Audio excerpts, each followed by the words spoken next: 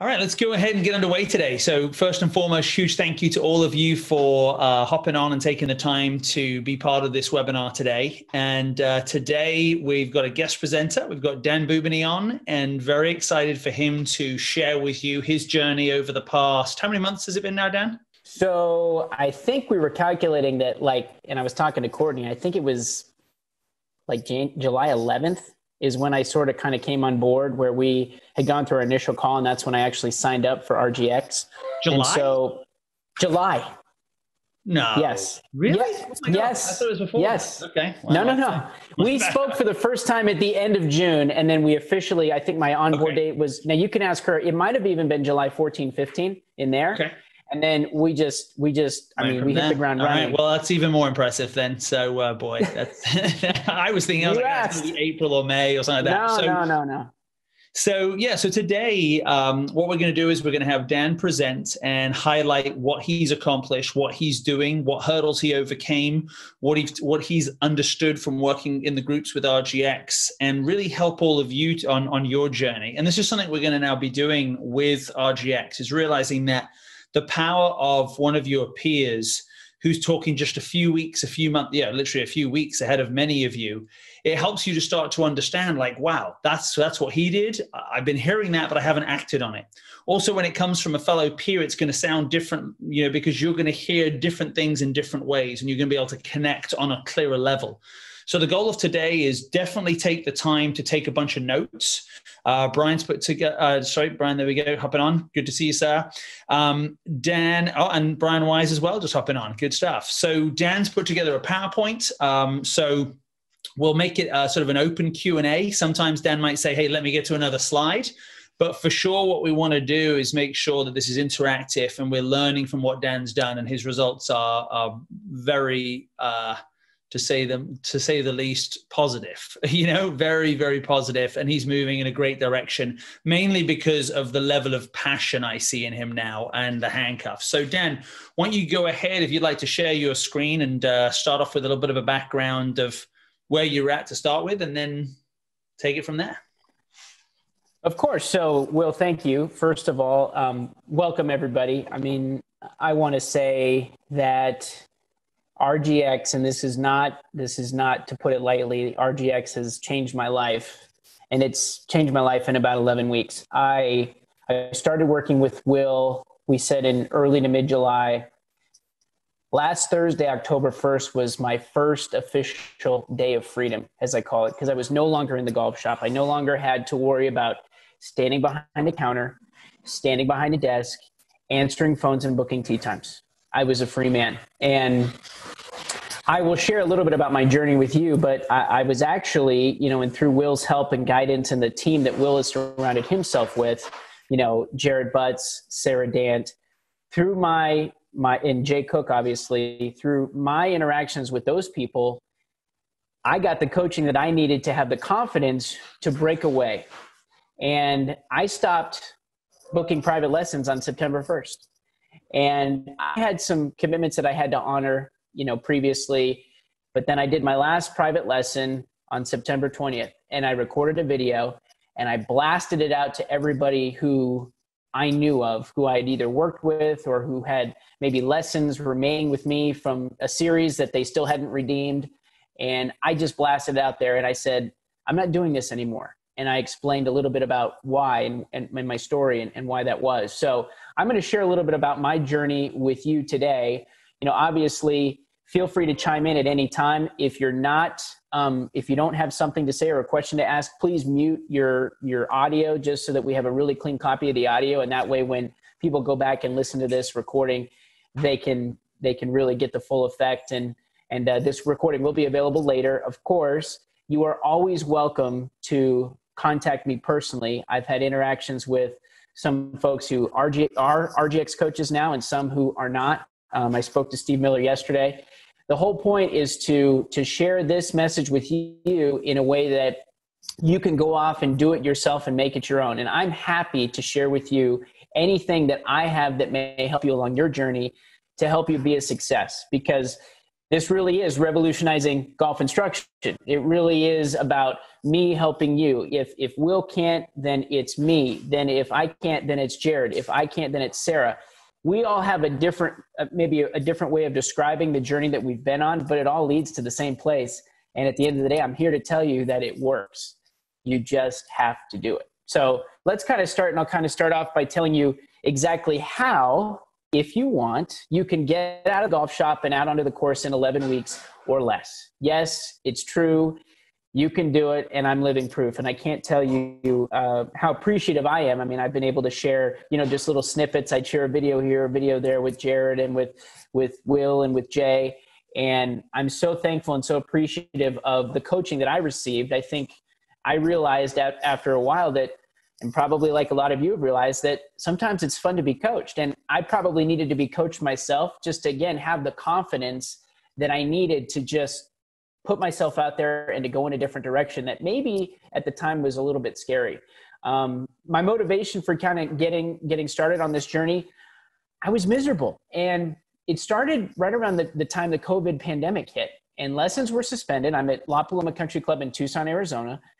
Lessons were suspended i would say in early to mid-march and it didn't take long maybe like one to two weeks and all of a sudden i was just miserable and i i couldn't figure out why you know and i so i did some soul searching and i thought oh i mean like what happened? Because i was happy. I loved going to work. I never felt like i i was even working. Like it was so much fun. And then all of a sudden it just felt like it was just it was just this log.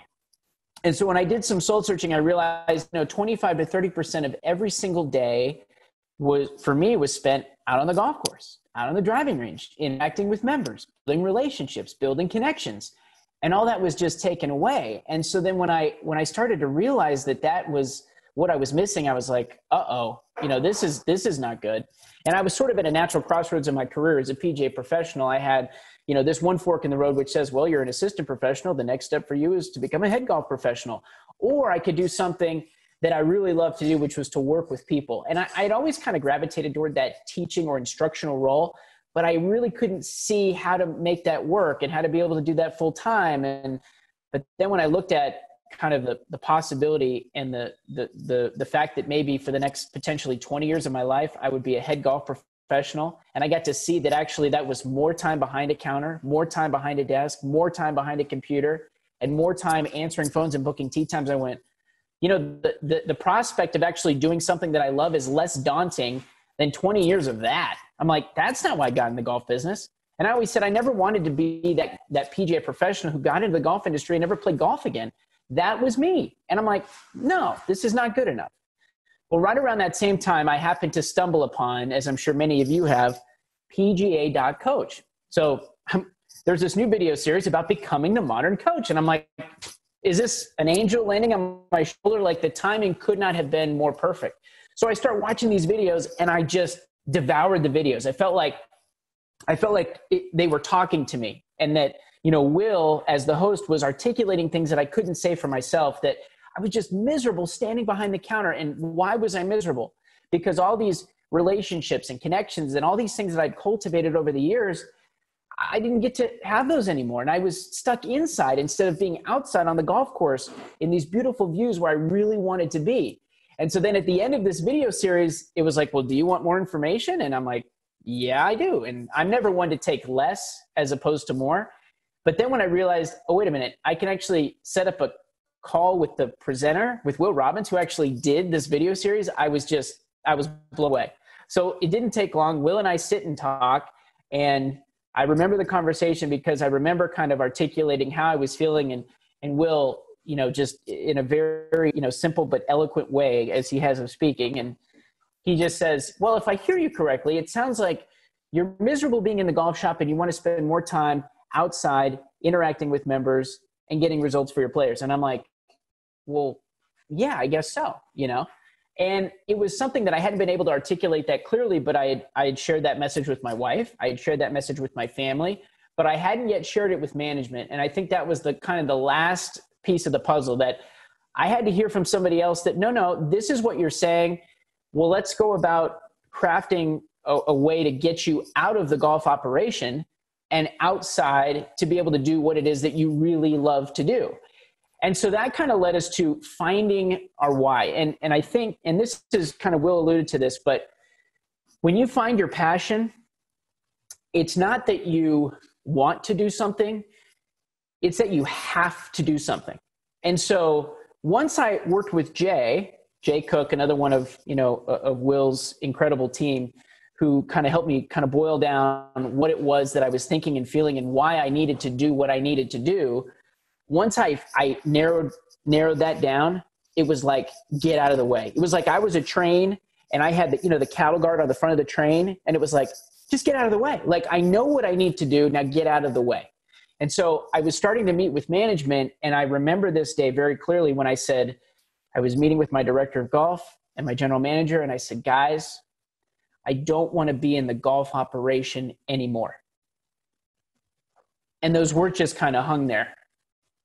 And I, I remember feeling like someone had taken an anvil and just taken it off my shoulder and just kind of like dropped it because I've been carrying this weight, you know, with me for so long that I knew I wanted to get out, but I hadn't articulated. i Again, I'd said it to my wife, I'd said it to my family, but I hadn't said it to my bosses. And that was like the last piece of the puzzle. I needed to let them know. I needed to articulate what it was that I wanted. And I told them, look, I want to spend more time out on the golf course.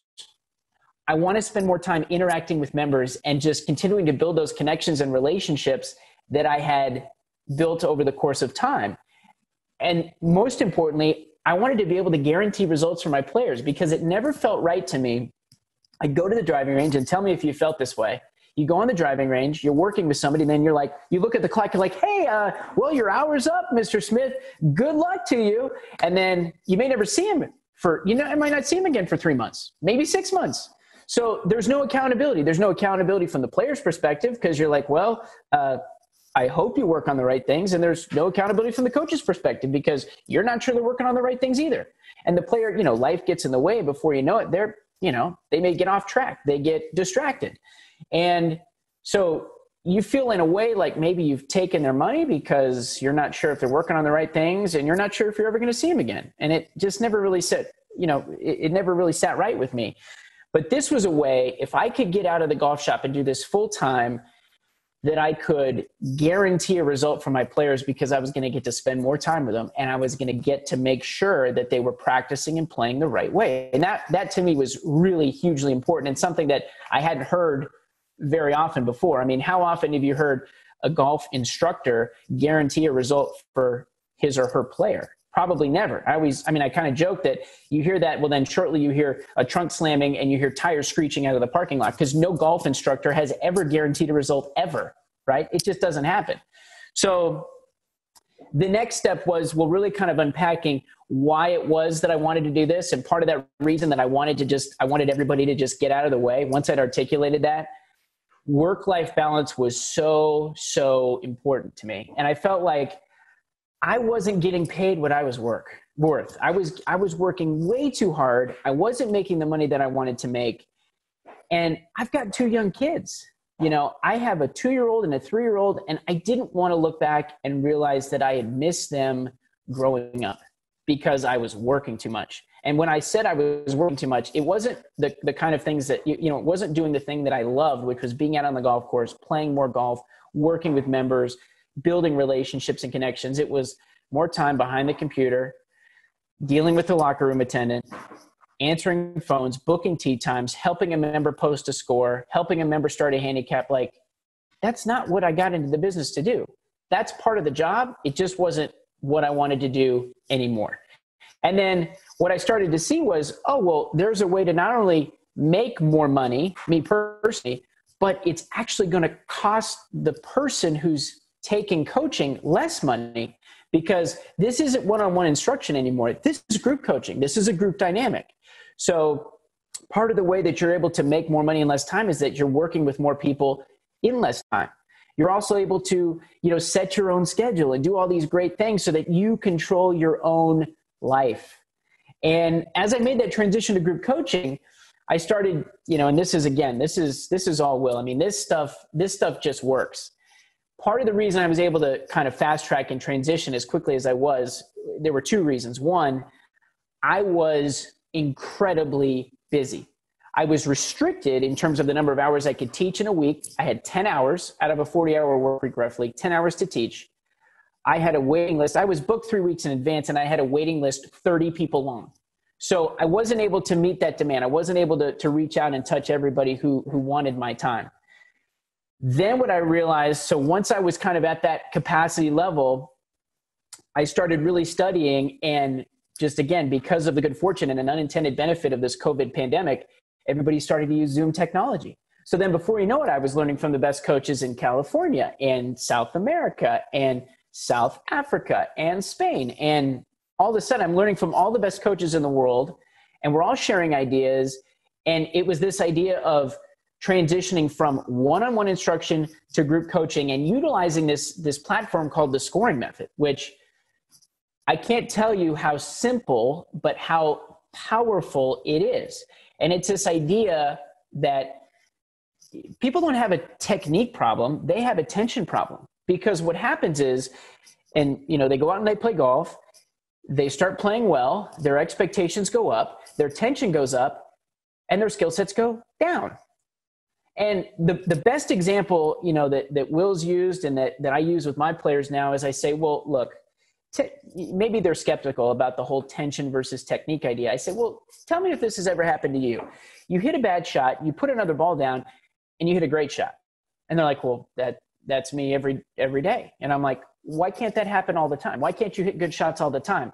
You don't have a technique problem you have a tension problem. So then how do we go about attacking that so that you can play to your potential. You know it's my job as your coach to unlock that potential that you already know that you have inside of you because you've experienced it. And that's the idea of playing left brain versus right brain. Left brain is very technique oriented. Well what's my grip? Where's the club? How am i swinging? Right brain is just hit it there you know like hit it there. It's target focused. You know I, I just want the ball to do this and i want it to go there. Okay do that.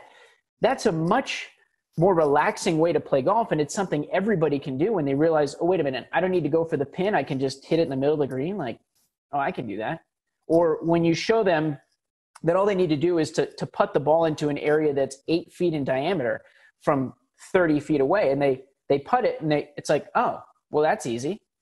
Or you show them a concept of like putting with loft where you're you're using a hybrid club to show them different shots off the green instead of a chip shot which they might skull or chunk or hit thin or hit fat you show them no no no just just putt but with a hybrid and you say well how many putts can you just get uh, you know inside of a, a, a 60 foot circle 30 feet away on either side and you've never shown them the shot they've never done it before and they get 10 out of 10 and you go well that's weird you sure you've never done this before? They go, oh, no, no, I've never, no, I've never done this before. And you're like, well, is this easy or hard? Well, it's really easy. So why don't you do it all the time? I don't know. I've never shown the shot. Then they start utilizing it and they realize, oh, because the sole of the hybrid is so wide, I'm not going to chunk it. And I just have to putt it. I'm, I don't usually blade or chunk putts. So I just do the same stroke and it works. And it's like, there you go. And that's the magic of the scoring method. This is all tied together. It's all about getting players to play more relaxed. And when you're more relaxed, your skill sets go up, not down. And everybody knows that they have this potential in them. Everybody really, at some level, they want to be coached. They just maybe haven't articulated that to you yet. But they really want to, to be able to play to their potential. And it's something they've all experienced at one time or another, but they don't get it consistently. This is the video that I recorded once I stopped coaching and doing individual private lessons. So I recorded this on September 20th. This is the video that I sent out, I, I, told you guys about. I sent it out to everyone. And this is the video that I sent out on September 20th at the conclusion of my very last lesson. And I don't know if it's going to let us do this now, of course. But if it does come on board, then we'll play it. It's basically just, it was me for one minute saying, I'm not doing private lessons anymore. And here's why because I don't believe that's the best way to get you to achieve the results that you want. It's going to give you more time with me, it's going to cost you less money, and I'm going to guarantee the result. And that's a very, very powerful thing. And I just realized based on all the feedback that I was getting from the players I was working on, I mean, the most common complaint I would get is, you know, I can do it on the driving range, but I can't do it on the golf course. And I finally said, well, you know, the reason why that is is because you don't practice or you don't play under pressure. You know, and I can't replicate that pressure that you feel on the golf course when you're playing with your buddies if it's just the two of us standing on the driving range or standing on the golf course. So I said that's another reason why I, we need to go and we need to do this as a group. We need to go into a group coaching dynamic so you can feel that pressure and I can simulate that pressure for you that you're going to feel when you get on the golf course and play with your buddies. So at the end of the day, my message to you is just do it. And I am, I am, I'm a, I've always been a fan of Nike, so that that works on that level. But you know, for me, was finally just deciding that as of September 1st, once I could see, and we were kind of going through, you know, talking, and we were talking, I was talking with management about getting me out of the, the golf shop. And initially it was, well, we probably won't be able to get that, that, that to work, and you won't be able to, you know, become an independent contractor until January 1st. And then it was, well, I don't know if it'll we'll be able to do it before the end of the year. And then all of a sudden it was like, oh no, we think by the first of October we'll be able to do it. So here's this video that I was showing you. Let's just I'll stop you here for just a second and let's play this video. This was the video I recorded. Actually, I had a junior record this video for me right after I did my last private lesson.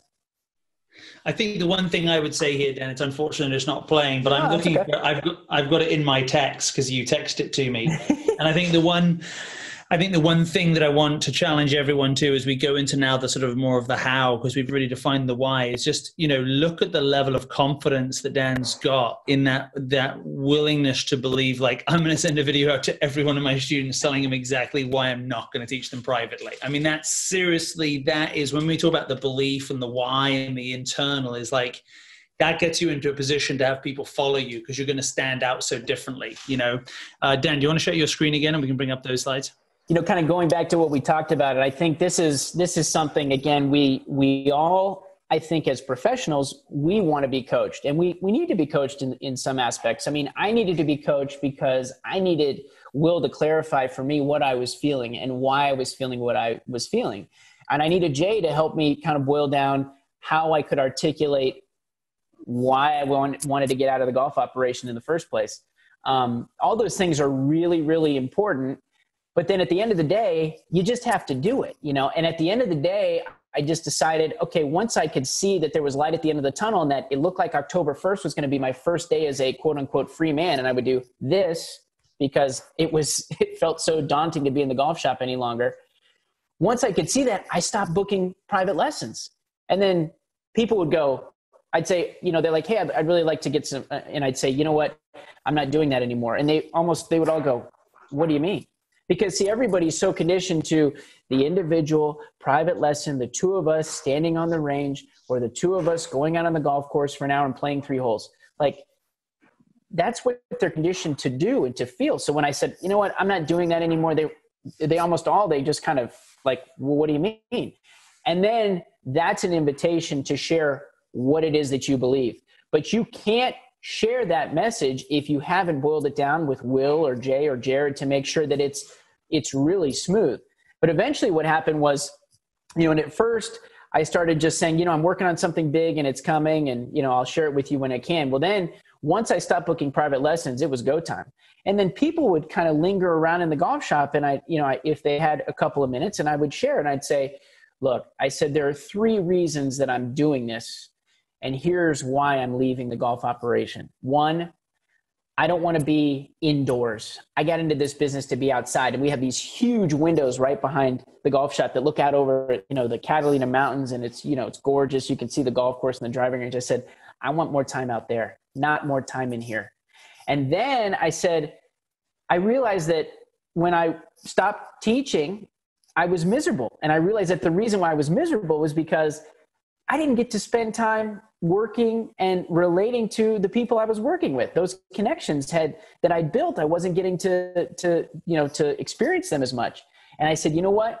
What makes my day is when when one of you comes in and you share a success story or a goal or something amazing that you've accomplished.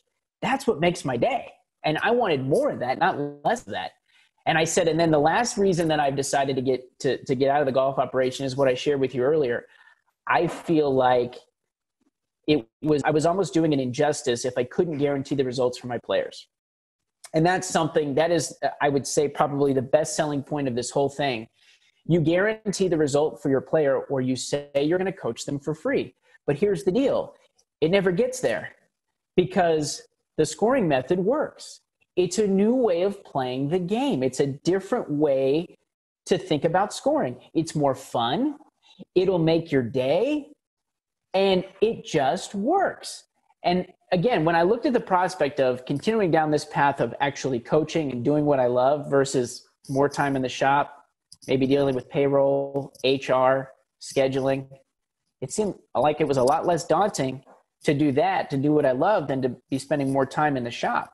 So to me, it was eventually it became an easy decision. And once I realized this is not something that uh, that that I want to do, this is something that I felt so passionately that I needed to do. I had to do it, and everybody else just get out of the way. There was really no stopping me. And so then when I started sharing this message, and when I had a chance, and I, I started inviting people out to just play nine holes, I'd say, you know, come out and play nine holes. I'll I'll show you what it is I've been working on, and and what it is that, that you know the scoring method's all about, and we can talk from there. We would go into you know what we call the turn, or basically like the members grill, you know, between nines, and we play nine holes, and I'd sit down and I would I would just kind of just pour myself out to these people that I just played with. And almost all of them were like, oh my gosh, like I can really see how passionate you are. Like my body chemistry had changed because I was, I knew that I was, it was like I was doing the right thing. And I felt so good about what I was doing that my, my I mean, I'd sit up straighter and I was more excited. And it's, I, I mean, I hope that it's coming across now. It was like, it was so amazing and so much fun. I couldn't wait to share it with as many people as I could share it with. And and that's part of the the whole RGX experience too. It's that I want I want as many people to hear this message as possible because it works. It's more fun. It's a way for you to guarantee results for your players. It's a way to make more money for you in less time. It gives you better work life balance. You get to spend more time with your family. You get more freedom. Win, win, win, win, win, win, win. That's the bottom line. But you have to do it. You have to make it happen. And and that's, you know, that's up to you. And all I'm here to tell you is that you can do it, but you have to be willing to try. And a lot of times I feel like as professionals we we basically we we want everything to be perfect before we're willing to let it go. Um, and Will's famous for saying, you know, ready, fire, aim. You you figure out the aim afterward. I mean, you can adjust that, but but the hard part, I think, for for most of us and most professionals, is just firing to begin with. Just pull the trigger. Just do it because it will change your life. It has already changed mine, and there's no reason it can't work for you too. Does anybody have any questions as we move along here? Yes, we do. Feel free to chime so, in. Yeah, yep, I got in. a bunch typed in, and so let's um let's start off by saying dan thank you very much that was awesome to watch i had no i just asked dan to put together a presentation it was just fun to watch it and i think that uh you know it's exciting to see that passion that you've got inside of you and i think that you've the biggest thing is each of us finding our own why and you found your why and your belief system. And this is why you know jay works so heavily on the seeds of belief why work so hard on our story why we work so hard on who we are as a coach and why we're going to become that coach because that's how you get a sold out program. So just let me know if i'm on track here. So 44 people signed up for your coaching program correct? So uh, yes. So initially I, I had all these people and you know what i actually decided? I actually decided to pare it back. Um, i had 44 actually 45 signed up and then i, I went back and I, I talked to some guys and i said you know what? I don't know if the timing is quite right. So I actually got more free time. I'm doing 40 it's basically 41 players now signed up instead of the 45 and that was a decision i made. It wasn't because of lack of interest. I have a prospect list that's over 70 people long i'm to the point i can't accommodate everybody um, i've actually started turning people away and this is another way to get buy-in from from your your country club or your facility i don't have enough time to to teach all these people so if they really want private lessons you send them to the guys or the gals in the shop because that's going to be where they need to be for now. And guess what? They'll take the business. Hopefully, they want to get better as teachers or coaches, and that's going to mean more business for them. So you could say, actually, it actually means more business for the shop and for those folks in the shop because I'm not doing private lessons anymore, quote unquote. Yeah. So a few questions that came in. One from Tony Chavez, which uh, Yeah. did management freak out when you approached them? So let's talk about a little bit of just a small background about the approach, what we did in making sure that that was not a major problem. Yeah, so we we really I mean this took as you know, I'm I'm somebody who I'm I go 100 miles an hour. So I wanted to put it all out there and I wanted it yesterday. And I remember you kind of coaching me to you know to just kind of to kind of pull back and we talked about the best way to start kind of letting management know that I was thinking about doing something else. And so we would we would kind of release these like little kernels of of information and this was i thought this was really really creative where i would just kind of pop my head into my general manager's office you know in the afternoon. I'd be like hey uh like what do you think about this? And then maybe there would be a little conversation and then you know i would go back and i would tell i would tell will kind of what had happened and then we maybe kind of go in a different direction. But we would drop these little like we would drop these little ideas and kind of see what the reaction was and then we kind of knew based on that reaction which way we wanted to go with the negotiation. And i remember it was like well he would he would just will would say no no no you're we're really not ready to quite share this yet. Let's just kind of you know craft a few more things and polish these things. And then once it was like ready to go it was like okay now you need to start sharing this information. But we did it very carefully so that exactly to your point tony so that management would not freak out. Because what happened was when I finally shared, I don't want to be in the golf operation anymore. And my general manager was like, oh, okay, this is interesting. Well, my director of golf was like, well, if you don't want to be here, I don't want you here. So then everything kind of fast tracked to where, you know, if when I shared that information in August, he would have had me out of the picture basically in September if he if he could have my director of golf whereas my general manager was more like okay well let's take our time and kind of see how this goes and how this evolves um, and then basically once once but once i put it out there then it was like everything just kind of kind of set up. Gave you know management time to think about their next play and how they wanted to basically replace my position in the golf shop and then how they wanted to handle me outside of the operation. And, and basically what we kind of stumbled upon was becoming an independent contractor but we didn't start there. That was kind of you know we went on all these different paths and then finally we after presenting several different options that was the option that seemed to be most agreeable for everyone. Yeah, and I think this is the one place where I would uh, I would say that both both myself and you, Dan, are very much ready, fire, aim. Let's just make it happen. Whereas within contracts, it is a negotiation, and negotiations are all about being prepared. And I think that things that we did was, as you said, I mean, we we planned out all the financials of what it would look like for Dan, but most importantly, what it would look like for the club and listed out every single benefit and listed out every single issue and went through them painstakingly and was like you know how what's the response to this? What's the response to that?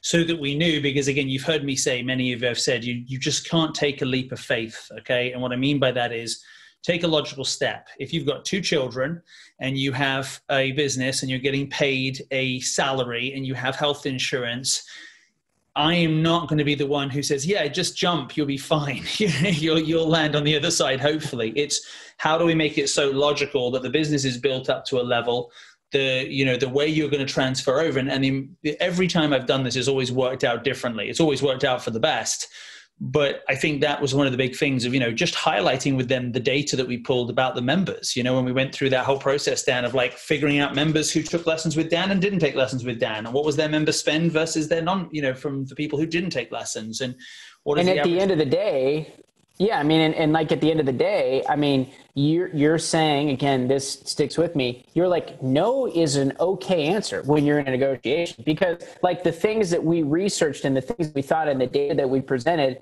it ended up not even they didn't care. Like that that didn't even matter. Like you know, it was so hard for them to get to you know to share with me the data of what members were spending based on members who were receiving coaching and members who weren't. Like at the end of the day for them it wasn't about the numbers. Like they they that wasn't important to them. But we didn't know that until we went through all these different scenarios and we were really we were overly prepared. We're so overly prepared.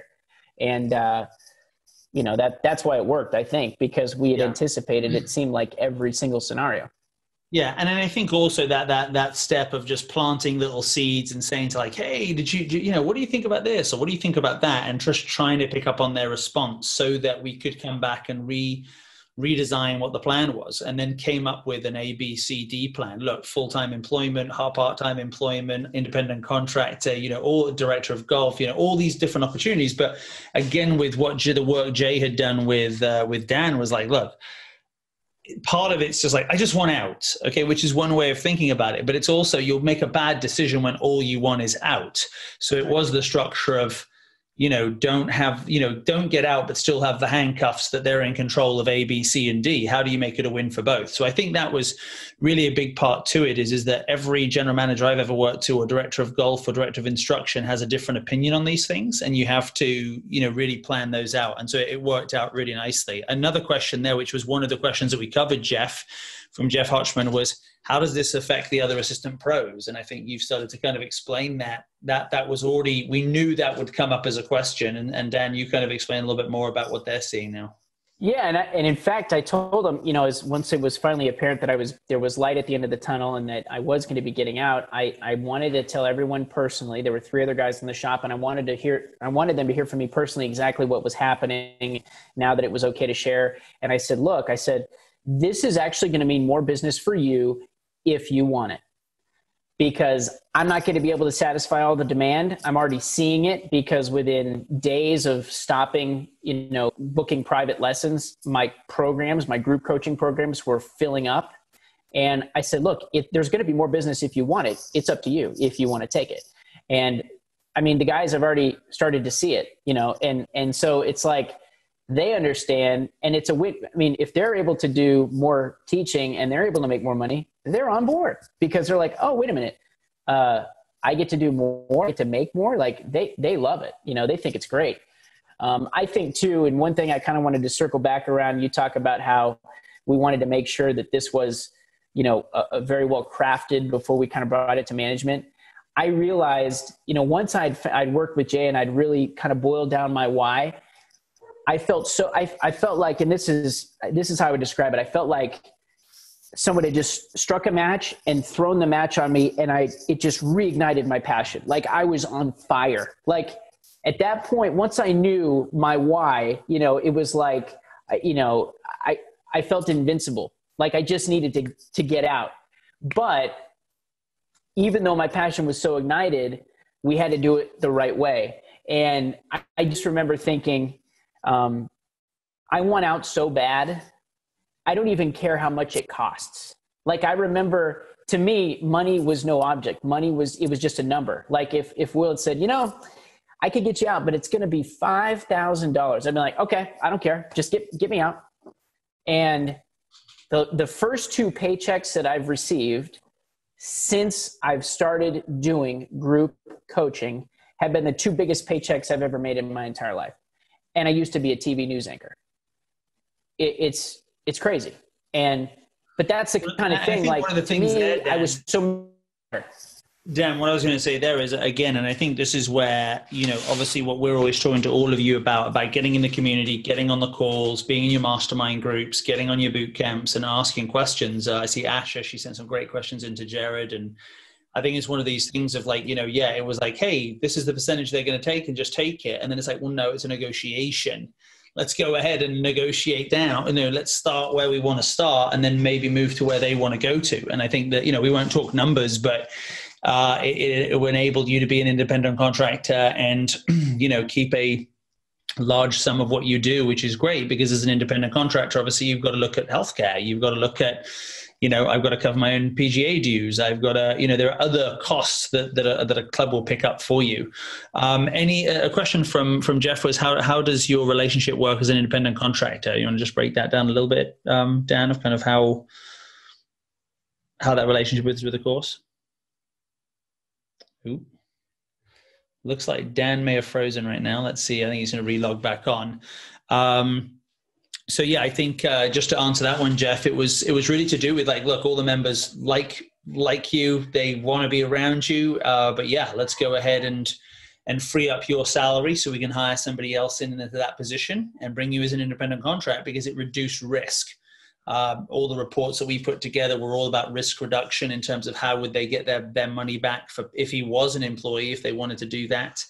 Um, and so it worked out very well uh, in those regards because we everything was prepared. So even when they said they weren't interested in it, it's because we were able to give them a direct answer, like, well, look, here's what the return would be, here it is. And say, well, you know, it's just easy to do this. And I think that's the thing about being prepared is, is that so often when you are fully prepared, questions that would come up if you don't have the answer come up deeper and then you, you're, you're stuck. Uh, and so the process worked out really well.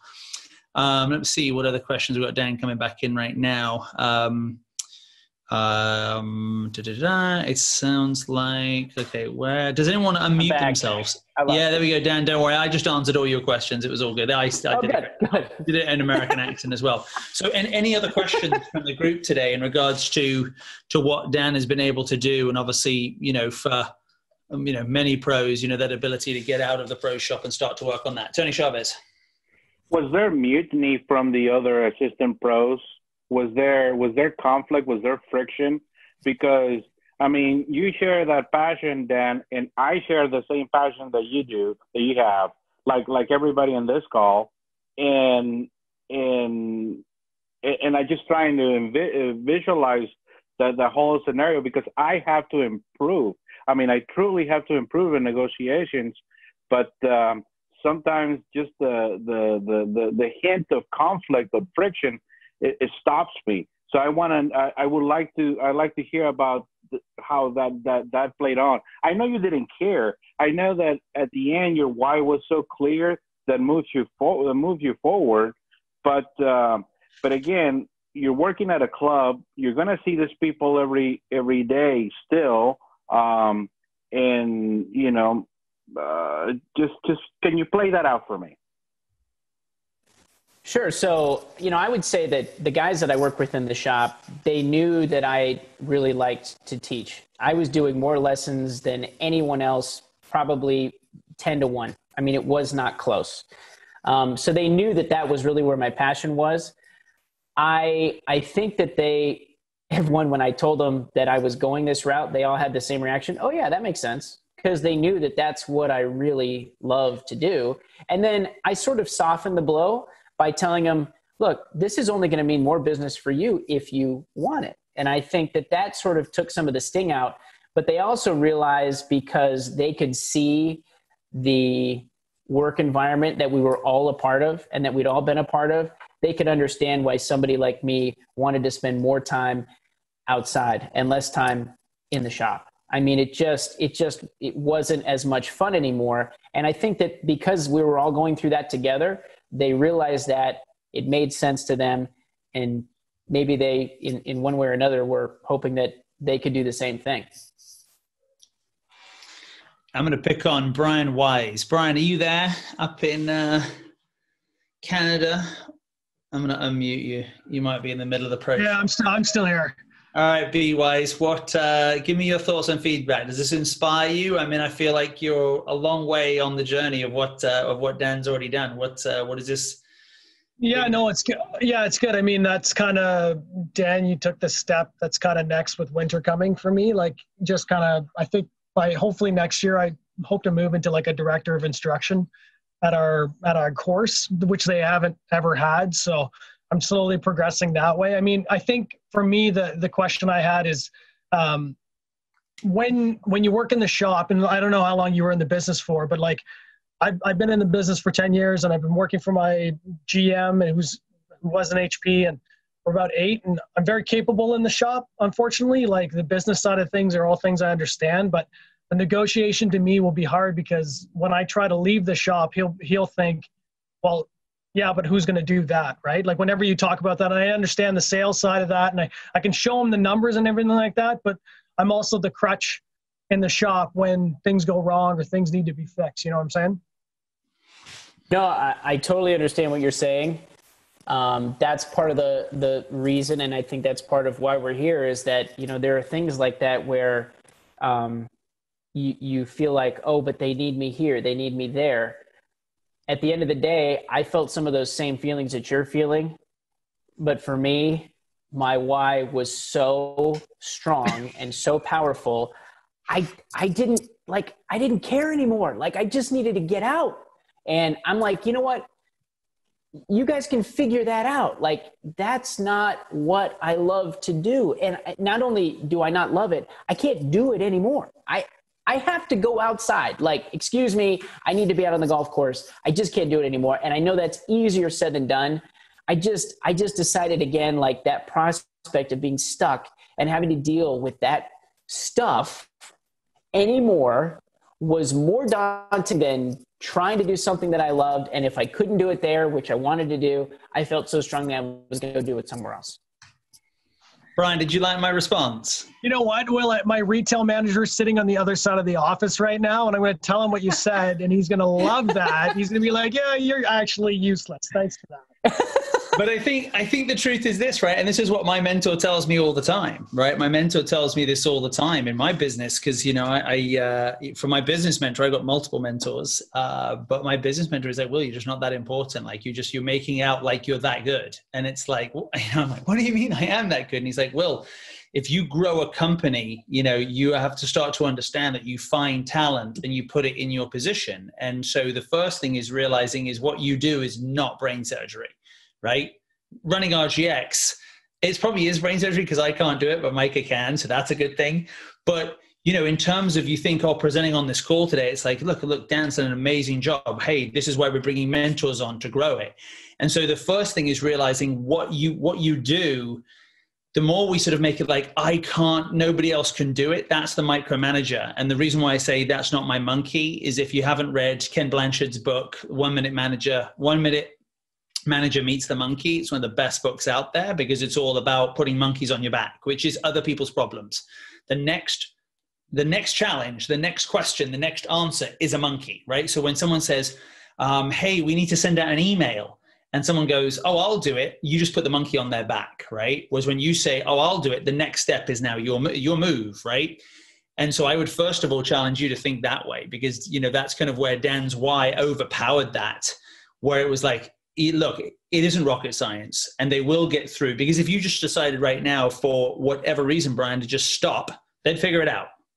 Right. When, when, when I've had a head coach, I remember one of my, my, my first head coach at WR golf when he left and it was like, and he had, it was wonderful. You know, I knew where he needed to go. He had three kids and he needed to go make a decision he needed to make $200,000 a year quickly.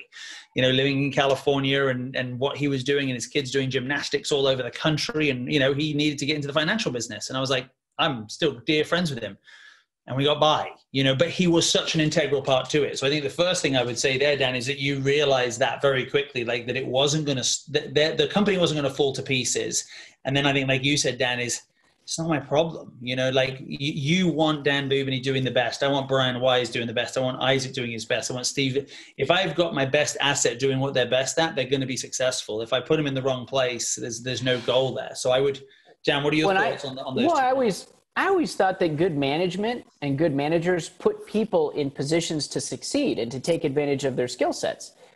Not that working in the shop wasn't one of my skill sets, but look, our customers, our members, our guests were saying, we want more time with Dan. I, I couldn't provide that time with 10 hours dedicated to teaching and 30 hours dedicated to being in the shop. And I, I told this to Steve yesterday because Steve reached out and, and we spoke over the phone. Look, I'm going to tell you this, Brian, because you were one of the first people that I, I remember seeing on one of these early calls. You inspired me, just like Steve inspired me you guys are so you guys are so far ahead of the game. I'm like oh i want to be like brian like the confidence that you exude that just came out you know through your through your you know your computer screen. I mean i'm like oh my gosh that guy's really got it you know? And i thought the same thing about steve. I mean these are people that i look back on and i'm like that was part of my motivation because i just wanted to be where you were. And now i'm saying like there's no reason why you can't be because I looked at, at the, the example that you set and the confidence that you showed, and I just took it and I ran with it. And there's no reason why you can't do the same thing. It just just do it. Jeff. Yeah, great presentation, Dan. I have a question. So, with your coaching, and you said that you're giving the other um, assistant professionals more golf lessons, totally understand it, totally get it. But how do those students feel now because here you're telling the community that coaching is the best way to go, um, and teaching is kind of not the way to go, but now they're teaching. How does that how does that work? So that's not the message that I shared with the assistants. Um, look, I sent this video out. I blasted this out to everybody that was part of my, you know, in my coaching realm and all my students. And here's the funniest part, right?